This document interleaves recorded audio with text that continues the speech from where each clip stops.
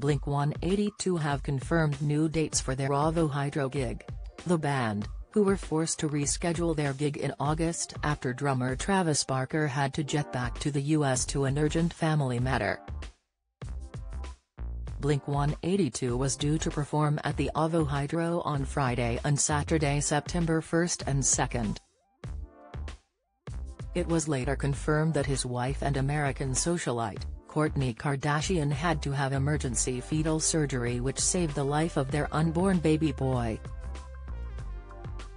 In September, Kourtney revealed that she had undergone urgent fetal surgery in an Instagram post and said that she was eternally grateful to Barker, 47, who was due to play gigs across the UK and Ireland but travelled back to the US so that he could be by her side.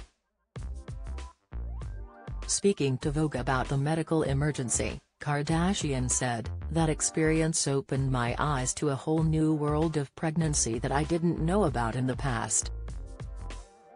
The OVO Hydro has now confirmed that the American rock band will now take place on August 29 and 30. The arena posted on their social media account, announced we can confirm that Blink-182's shows at the OVO Hydro will now take place on 29 and August 30, 2024. All tickets remain valid for the new dates. Tickets for September 1, 2023 greater than 29th of August, 2024. Tickets for September 2, 2023 greater than August 30, 2024. Join the Daily Records WhatsApp community here and get the latest news sent straight to your messages.